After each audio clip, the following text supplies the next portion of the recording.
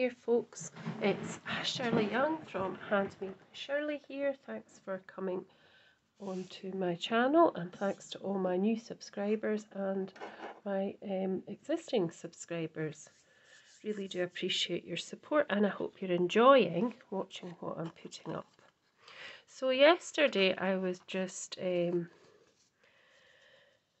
looking through some of my old die cuts um, and thinking about what ones I perhaps could get rid of, sell or something, or give away.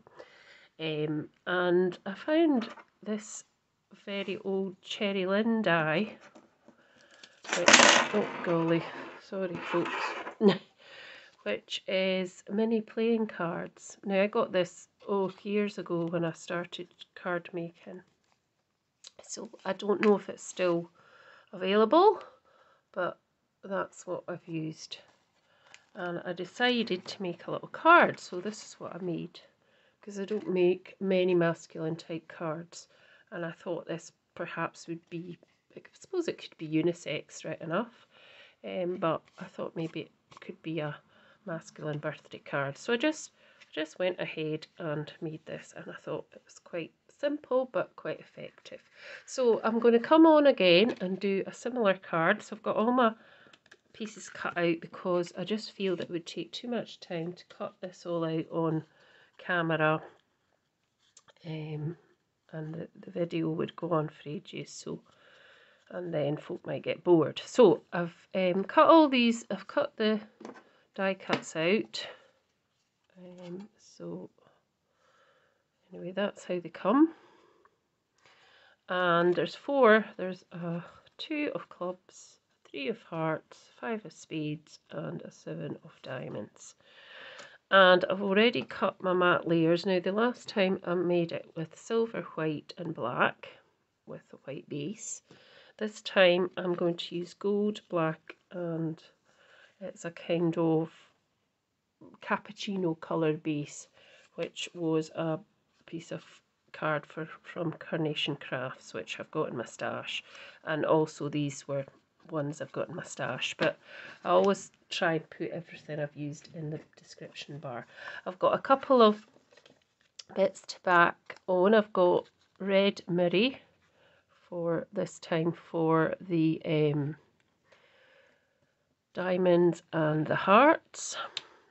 So I'll show you how I did that. And then I've got some extra black card just for the clubs and the spades and then we will back them as well just like I did there with this time with gold that time I did it with silver.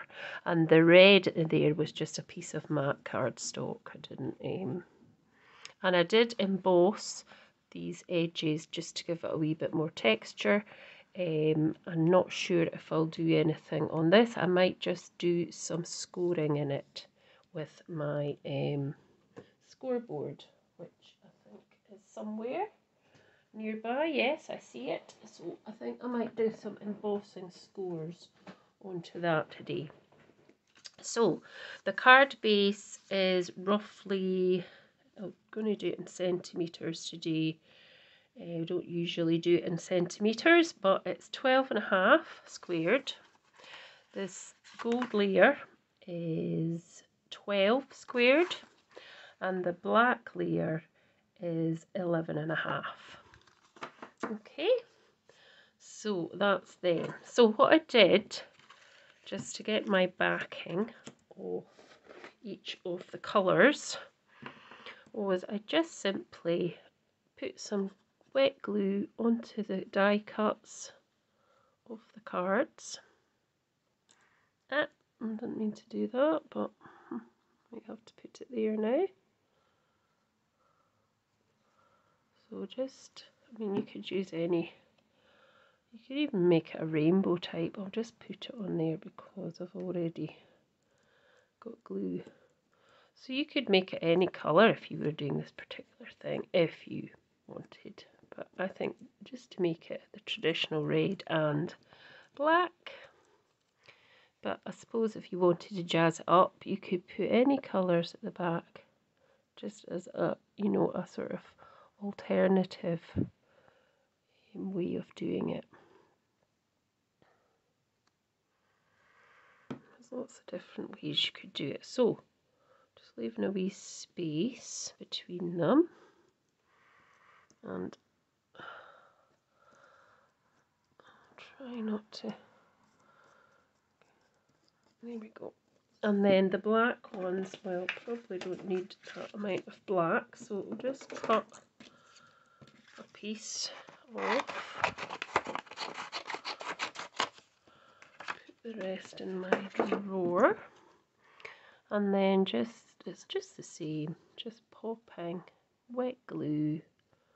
I would put wet glue on because any unless it's it's really really sticky um, tape runner or something it might come off. And you don't want you know that to come off. If you're giving it away as a card to a friend or family. You don't want it to come apart so yep. Try not to get the glue on it like me. So this glue is really good. I really like it. It's Nuvo deluxe adhesive and I really like it because the fact of the nozzle as well. So you can do some really quite intricate stuff with it as well. Um, and it dries clear. Most most glues do dry clear but yeah this one I just really like it. It's really I find it a good glue.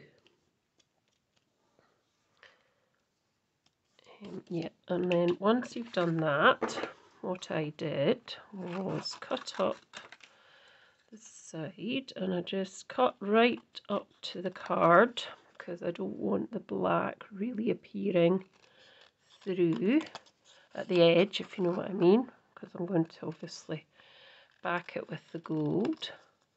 So trying to get as close to the edge as possible and then there's a kind of curved corner here like that I don't know if I can get any closer maybe a little bit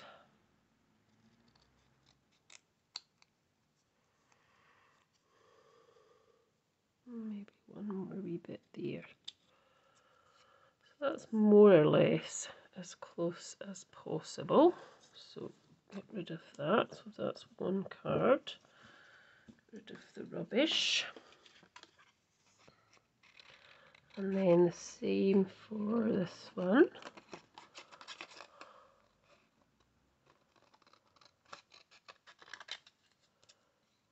So just staying as close as possible to um, the edge.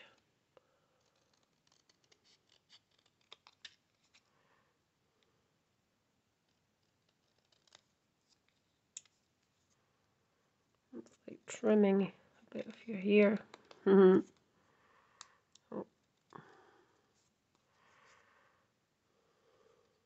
Still got a wee bit black there. That'll do for that one. Get rid of that now. And then the red ones. Just pop that to the side just now. Um, the red, just the same, going up as close as possible to the edge. Um, let's do these two that way. We'll save a bit of time.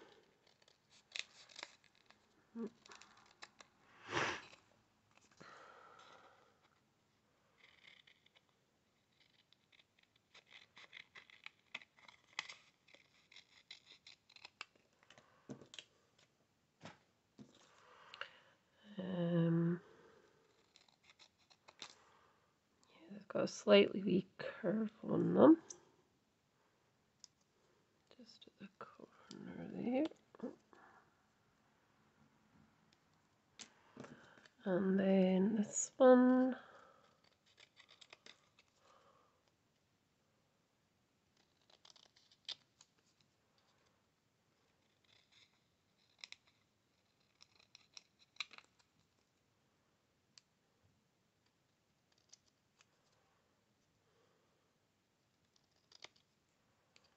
That's still got a bit here. Let's see if I can cut that off. That's better.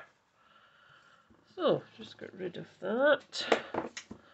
And I'm just going to actually wipe my board because it feels a bit tacky. Probably needs a wee bit of a wash, an actual proper wash in the soapy water or something. But that will help me a wee bit. Now the next thing I want to do is I want to pop this onto here. So we've got an even a, a backing going round. Now there's a couple of these I probably could trim. So let's just trim it down slightly. I don't want to really go over the white card if I can help it.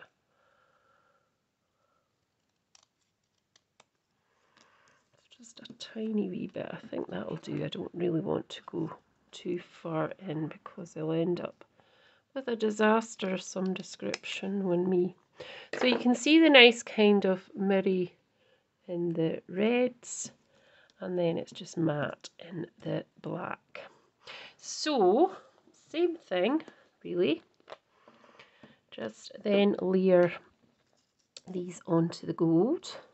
Just gives it a bit of a nicer finish, I think, to um, the card.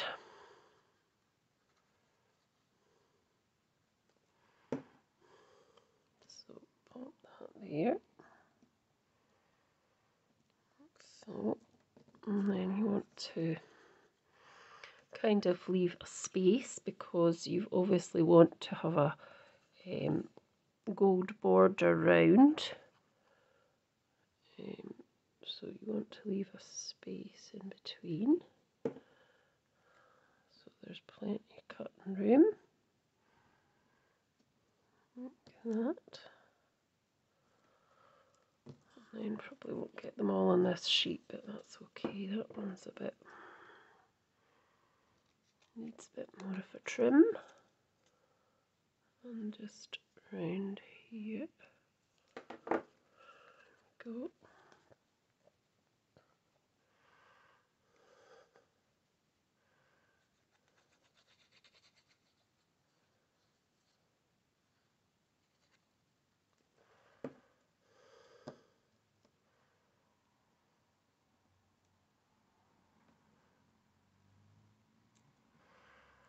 And then I'll do this last one on here.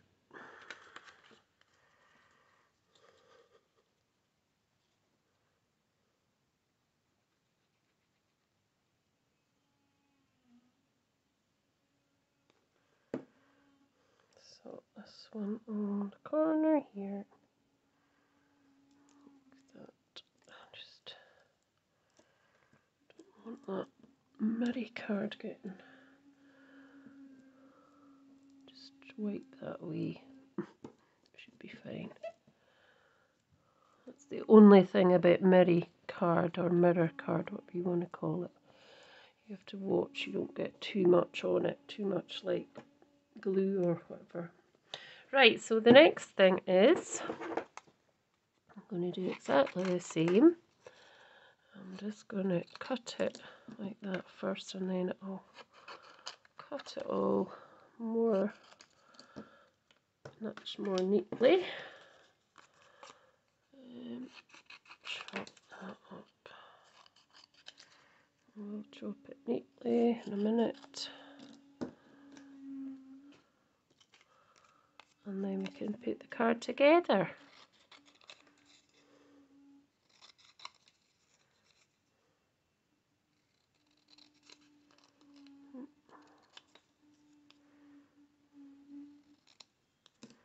Right, let's pop all bits in the bin. Keep that bit for something. Might use it in there. Right, so I just want to get a bit closer and just leave a tiny border round like we did here. Bring this one to a screenshot so you can see. Oh, oh dear stuck to my nail. Right, this one needs a bit more cutting up the side. and then I've just round off the corner a bit because that's kind of what the card does. Just neaten that up a bit because it's a bit. There you go, just kind of round the corner slightly. There we go, that's one done.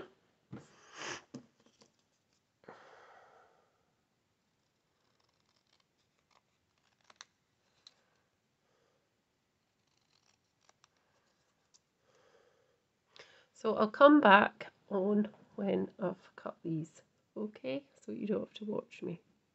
Right, I'm back now.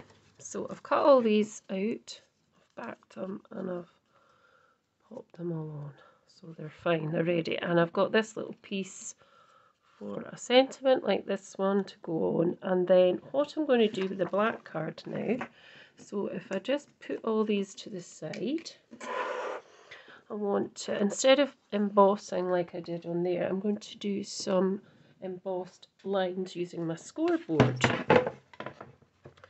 So, I've got, so you have to, so what you have to do is if you use this particular method, you obviously butt it up to the side or the middle, wherever it's, it's better for you, depending on what you're doing.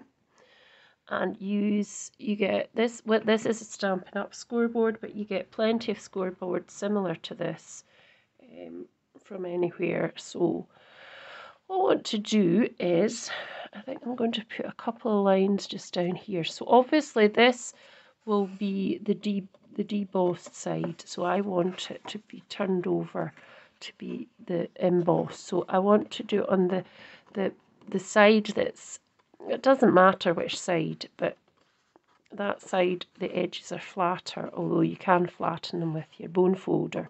So I'll turn it over because I want my embossing to be on the, if you see what I mean, the other side.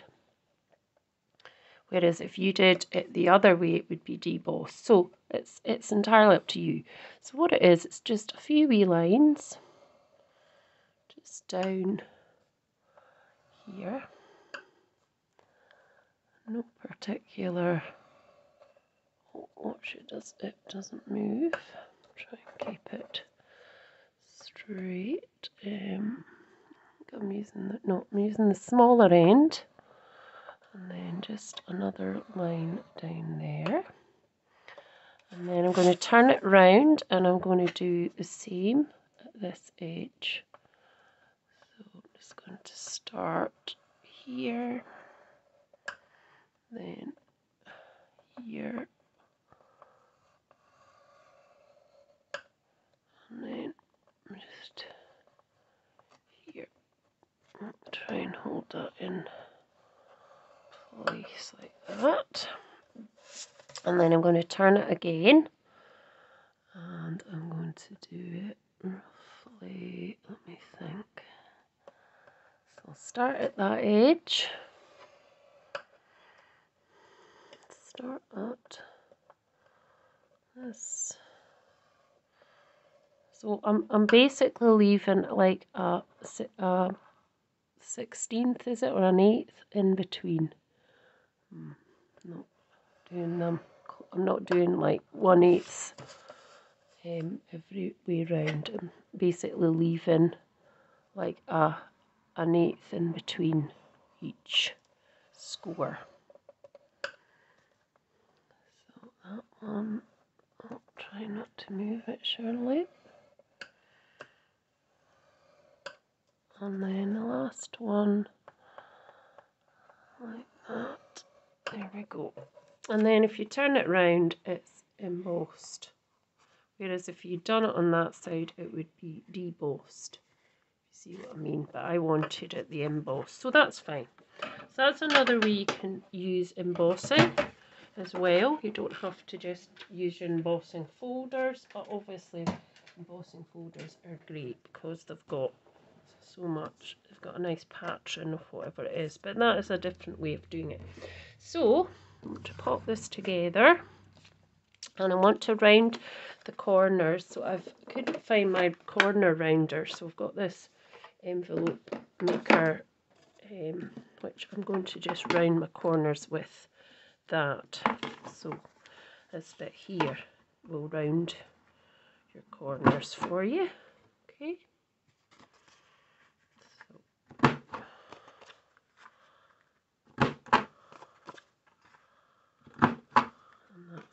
done. So I want to do all the layers, the matte layers and the card base as well with the corners rounded. It just kind of gives it a much nicer look or a different look.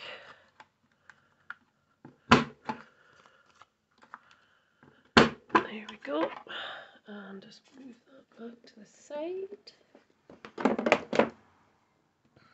Get rid of these bits and then we can start popping it together. So that one I did um, standing up this way. I can't remember if that's um, portrait or portrait card style card. This one I'm going to do opening to the out to the left. So it's just a case of matte layering these up and compiling my card. Um,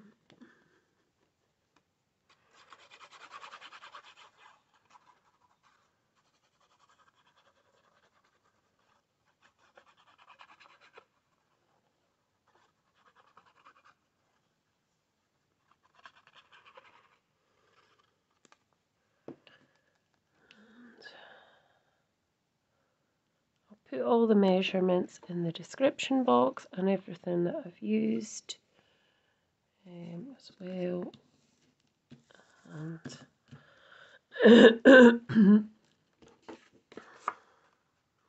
got a bit of a mark on it there.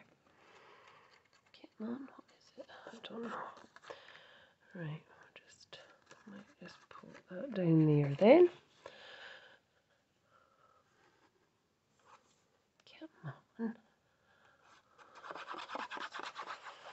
I'll use this glue so much that I'm running out of it.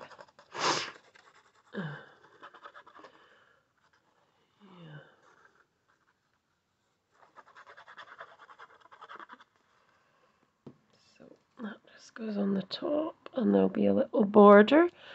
Excuse me, I have got a frog in my throat for some reason. So just match that up like so. There we go Oh, that should look fine. Yep. And then we can think about how we're going to pop these on now. So with the other one I did a sort of cascade coming down like so. This one I think I might try and do slightly different. Still want the kind of red, red, black.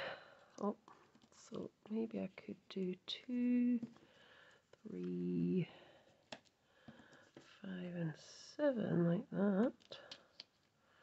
And I can pop something, hmm, might have to pop them slightly higher up.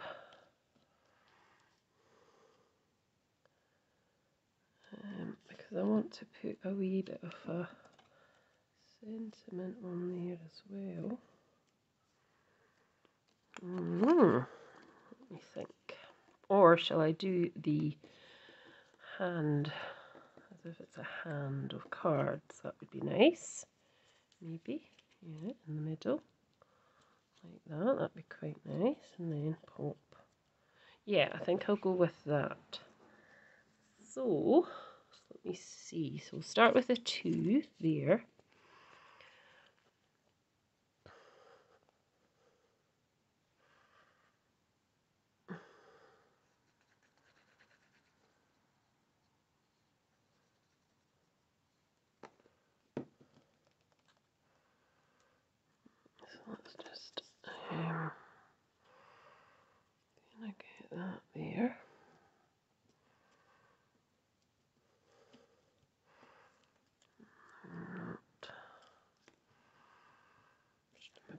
that down slightly, mind.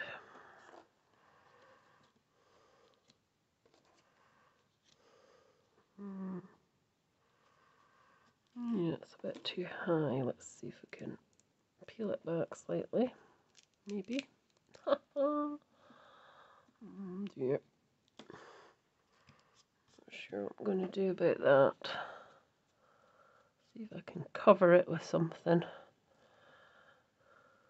Might have to do two of these, see what we can do. So, um, we'll pop that one there so that kind of goes over like that.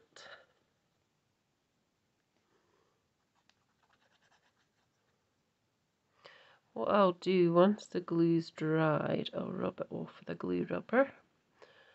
That should be okay. Let's just see before I stick this right down, make a mess of it. So that kind of needs to go like that and then let me see, so probably more like that and then yep that's better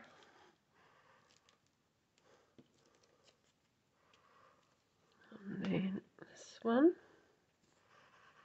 just so it looks like a hand of cards To try and keep that glue so what did I see that was going to go kind of like that and then that would be let me see.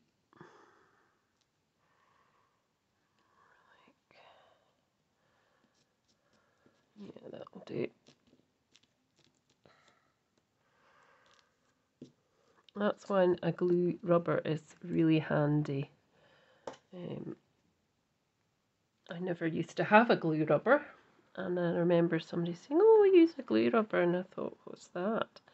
And then I found out and it is really good.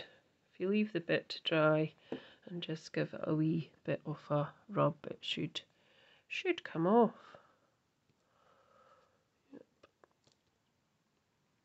But I mean, I might not need to, it might be okay. It might just be fine. So there we go. So now we've got our greeting. So I thought I might just pop that on the bottom here, just like there. But I want to back on a bit of gold. So we'll just quickly stick that onto the gold. And then we can add the happy birthday with um, I was going to do black memento, but probably would have been nice and red. I don't have red ink on the table. And I don't really want to hunt for it because it's not at hand. So I'll pop that on there. I'm just going to cut this up, this, this bit here. And then I can just, that's better. And then I can chop that off, chop that bit, and just neaten this bit up, hopefully. Yeah, I'll just leave it there. I'm not playing about with it because I start doing that, I'll mess it up. And then I just pop this. So I've got Happy Birthday, oh, which is a retired stamp from Stampin' Up from Blossoms in Bloom. And I actually cut it because I was trying to do it yesterday with, and I thought, oh no, I need to cut it because it actually came as a full stamp like that. So I cut it in half because, well, it's my stamp and I needed to. So, you know, if you ever need to cut your stamps in half, they are your stamps. So just, you know, cut them if you need to. So, no, that one's not stuck very well. That's it. And then I've just got some black memento. I could have used red, which would have been nice for a change. Now these have... I don't think that's stuck properly yet. Bear with me for a minute, because I don't think it's quite on that one. That's it. So, I've not long inked these memento inks, so let's hope I don't smudge it. So just stamping onto this wee bit here. Just wait for a few seconds and then lift it up. It should come off. That's okay. It's a bit the same smeared as it was yesterday, but I think that's just because it's quite juicy. Um, and yeah, you fine. It's not too bad. And then all I did was add it to the front of the card.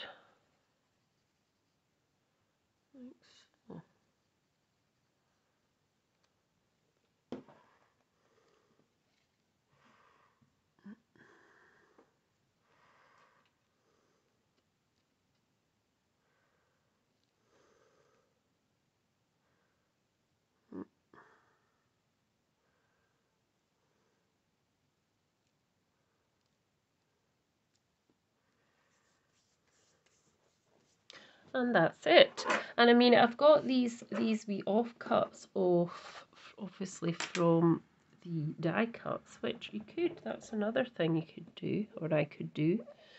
Uh, just wipe that away is I could add a few of them if I wanted. I've got like the little spade. So I could put that there which I might do. Just as a wee bit something else extra if I can get it off the just, I'm not very good with tweezers as you can see. So and I'm using my left hand so just a wee bit of that and then I could pop that onto here. Oh, the corner like that. And then I've got a wee bit of the, the heart one of the hearts that came out as well so I can just I don't want too much glue. Come on the glue's being awkward. Well now it'll jump out see. And then you can pop that maybe on there as well. Um, and then we've got a little club we could add glue and that could go in that corner. Um, and then we've got our diamond.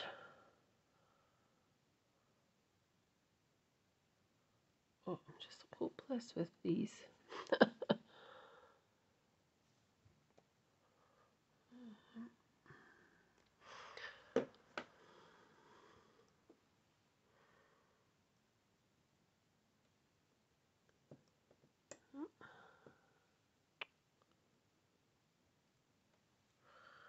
because it's on black cord it's showing up quite a bit of the glue there but so I'm going to stop there because I am. So I hope you've enjoyed watching and you liked the project. Please let me know if you did. Um, and thank you again for watching. Um, please subscribe um, share with all your crafty friends and thank you. See you soon. Bye for now